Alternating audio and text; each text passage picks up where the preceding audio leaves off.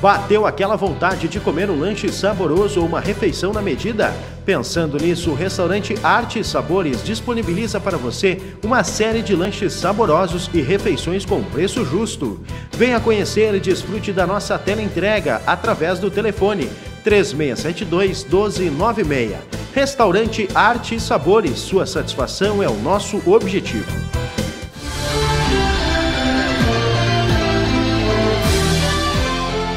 Um dos veículos usados por criminosos na tentativa de arrombar um dos caixas eletrônicos do Banco do Brasil na madrugada dessa sexta-feira, 31 de março, foi recolhido para a perícia. O carro, um Hyundai HB20 preto, roubado no dia 20 de março desse ano, em Santa Cruz do Sul, foi incendiado no quilômetro 14 da ERS 717 rodovia que liga o município à BR-116.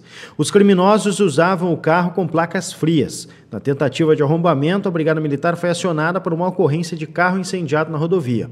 Durante o deslocamento, os policiais foram informados da chegada dos criminosos na agência bancária. Eles então teriam retornado para verificar a informação. Logo que os policiais chegaram, os criminosos haviam deixado a agência. Eles então retornaram à rodovia, quando foram novamente informados da ação dos delinquentes. Mais uma vez, os policiais voltaram à cidade e então encontraram a agência já com sinais de arrombamento. A Polícia Civil agora investiga o caso.